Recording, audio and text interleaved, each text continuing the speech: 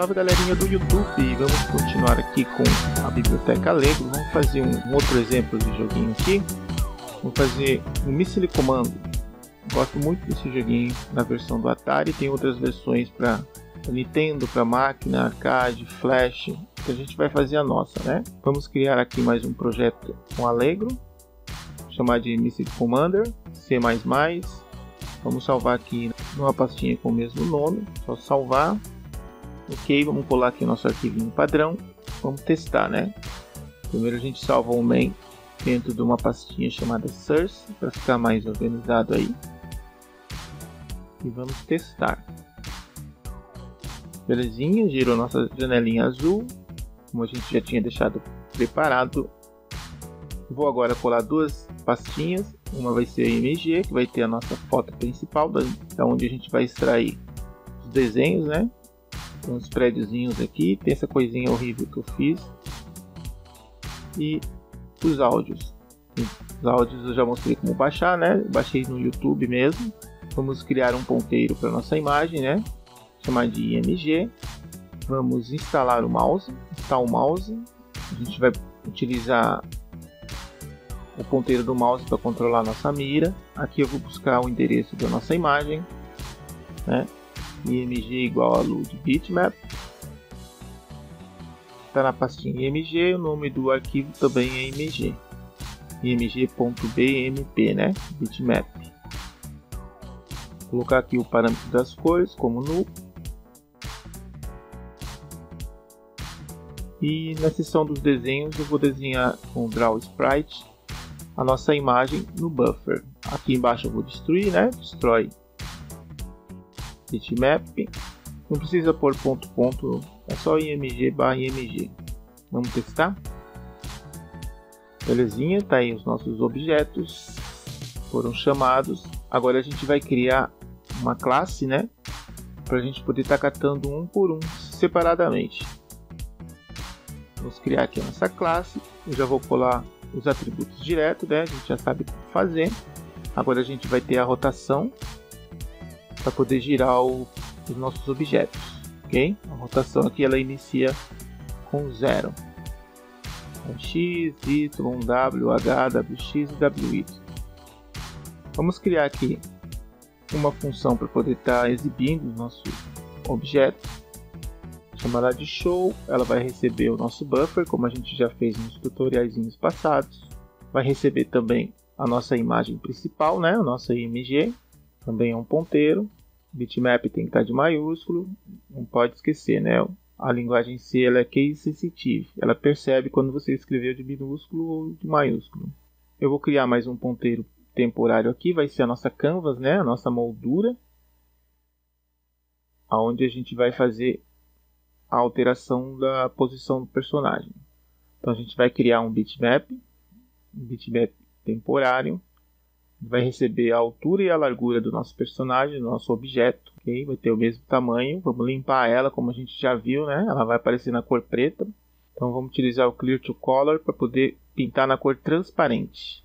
Ela recebe a nossa canvas, a cor que a gente quer, a cor transparente, 0xFF00FF. É, que é a mesma coisa que 2550255. Beleza?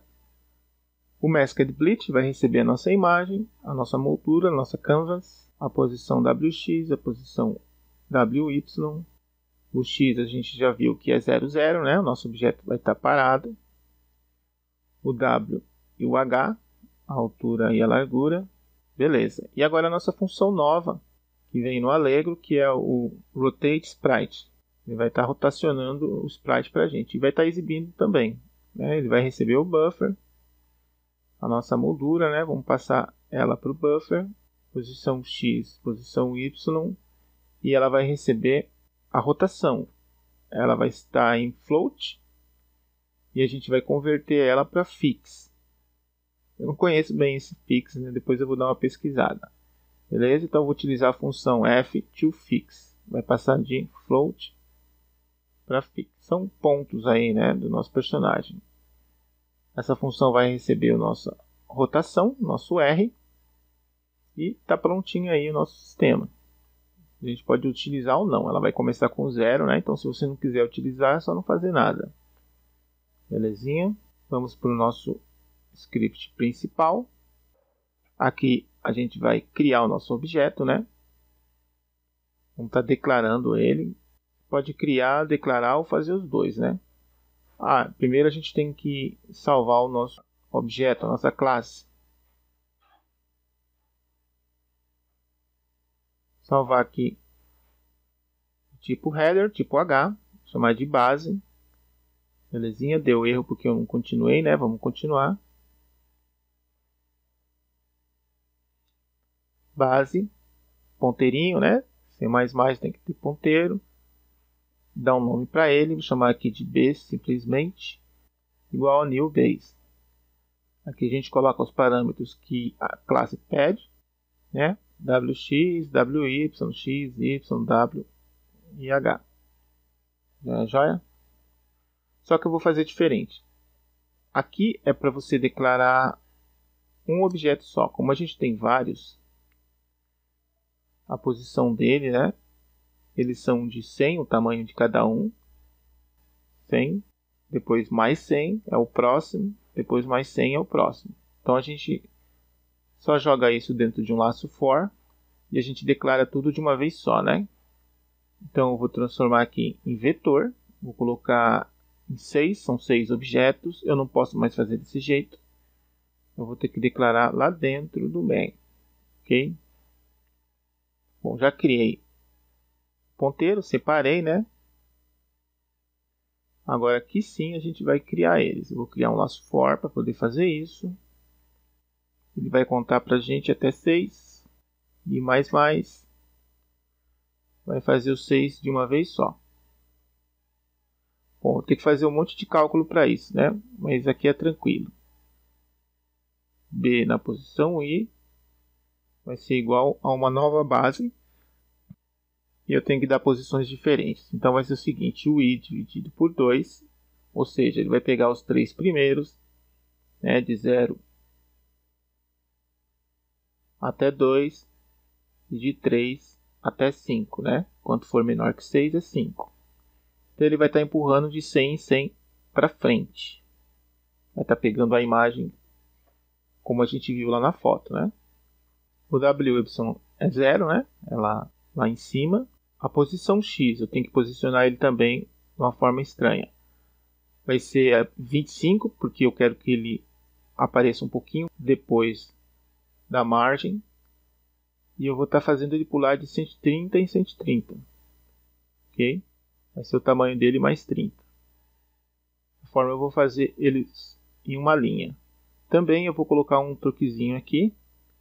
Eu vou estar tá adicionando toda vez que o i for maior que 2. Então, os três primeiros vão aparecer no, num espaço, os três seguintes vão estar 100 pixels para frente, porque eu quero que no meio sobre um espaço para me colocar o tanque. Ok? Comprimento é de 100, a altura é de 65. Belezinha? Bom, agora na hora de exibir, é a mesma coisa. A gente vai fazer um laço for para poder exibir os 6 de uma vez só, né? Se eu tenho que colocar um, o 0, 1, o 2, o 3, até o 6. O Last for já economiza isso para a gente. E mais mais. Agora a gente vai fazer.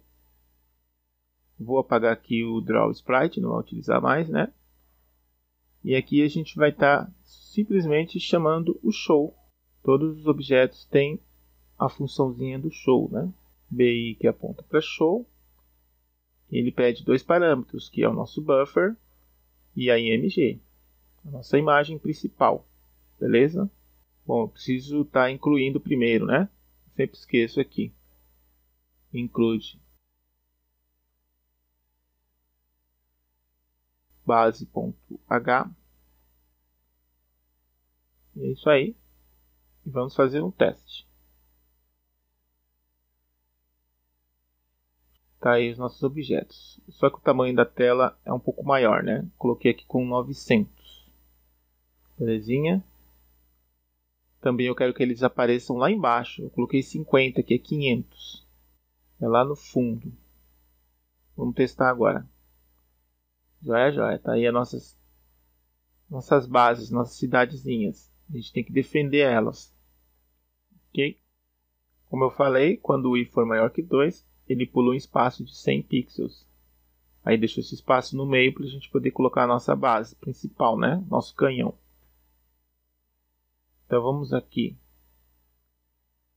colar um retângulo na cor cinza para melhorar o cenário. O pessoal em casa faz do jeito que achar melhor. Ele tem ele vai aparecer lá embaixo no 500 e vai ter o tamanho da janela da screen. Joia, joia. Aí o nosso retângulo cinza, o tamanho da screen que aparece lá na posição 500. Isso aí é a gosto, né? Depois a gente melhora, pode trocar a imagem, que o pessoal achar melhor. Vamos criar a função para criar umas estrelas, né? Deixar o cenário mais bonitinho. Para elas aparecer melhor, eu vou pintar o fundo de preto. Joia, joia. Aqui embaixo eu vou criar essa função a gente criar nossas estrelas. A gente já fez várias versões aí, vamos fazer mais uma diferente também. Chamar de start. E aqui a gente vai declarar variáveis para as posições das nossas estrelas. Vão ser 100. O pessoal pode pôr quantas quiser aí. Não vou colocar muito para não atrapalhar o jogo. 100 para a posição X, 100 para a posição Y. O comprimento dela vai ser o width. 100 também. E aqui eu vou criar um timer, que eu vou fazer ela cintilar. Esse timer começa com 30. Esse valor aqui é um valor chave, né? Só para poder começar. Aqui vai ser o seguinte. Se caso o nosso timer for igual a 30, ele é 30 lá em cima, né? Então ele vai entrar aqui.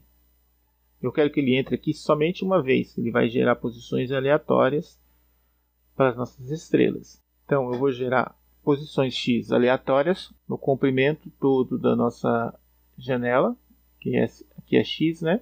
A posição y vai ser aleatória também na altura da nossa janela, só que eu quero que seja um pouco menos. Não quero que apareça estrela no nosso painelzinho cinza. Então eu vou tirar 100 aqui, né?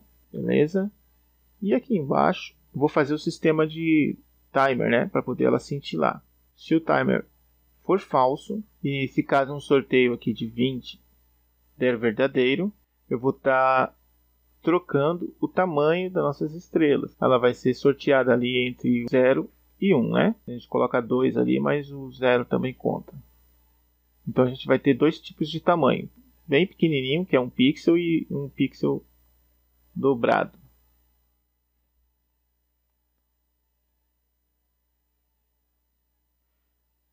As estrelas vão ser círculos, círculos preenchidos, né?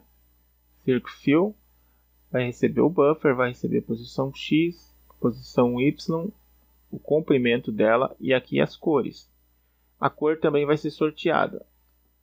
Eu vou pegar o W que está sorteando, às vezes ele é 1, às vezes ele é 0, e vou estar tá multiplicando por 205. Então eu vou ter duas cores diferentes, ou vai ter 0 ou vai ter 205, ok? Tipo um cinza e amarelo a gente precisa chamar a função né, dentro do nosso laço principal.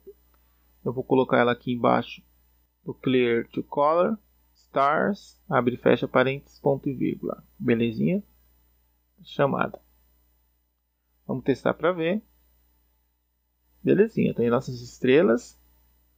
Elas estão mudando de tamanho a cada 20 ciclos. Só pode controlar o tanto que quiser aí e está melhorando aí o nosso cenário. Beleza, agora a gente vai pegar as demais peças, né? A base, o canhão e a mira, o alvo. Temos que criar ponteiros para eles, né? Eles são imagens. Chamar aqui de Canon, nosso canhão. Ele vai ter duas partes e o nosso alvo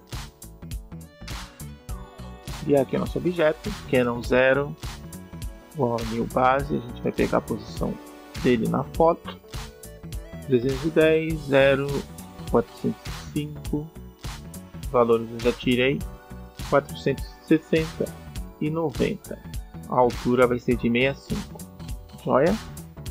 Vamos testar isso aqui primeiro, deixa eu exibir ele aqui com o Canon 0 que aponta para o show. Buffer e a nossa imagem. Fiz um teste. Belezinha, tá esse desenho aí horrível, né? Pessoal em casa, por favor, faça alguma coisa melhor. Se eu tirar esses negócios aqui que eu nunca uso, ele deixa a minha tela menor.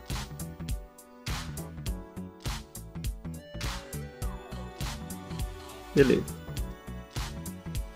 Aqui agora eu vou colocar o nosso canhão Canon 1, né? Vou pegar as posições dele. 406, 0, 390, 440, a altura é de 120 e é a largura de 120 quadrado, né? Vamos exibir ele. Belezinha. Aqui o canhão. Só que ele tem que estar atrás da base, né?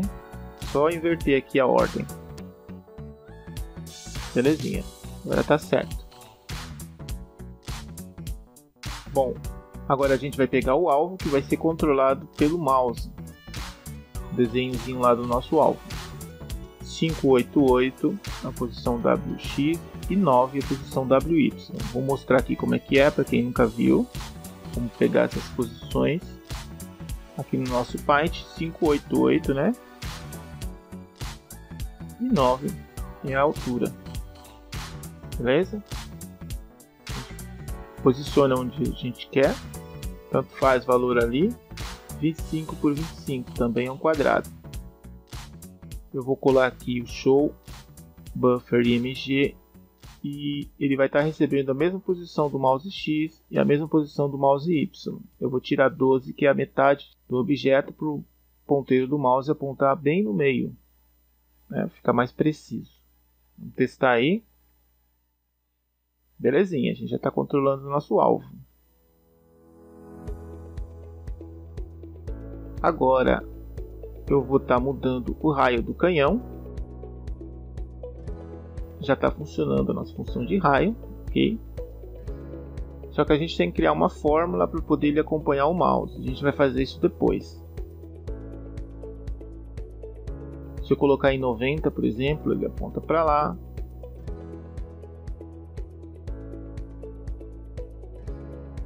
Se eu colocar em 65, ele vai apontar para o meio, certinho ok? É isso aí. A primeira parte está aí, nossos objetos. Espero que o pessoal tenha gostado. Até a próxima para a gente continuar aí o nosso Micelle Comando. Valeu, galera. Até a próxima.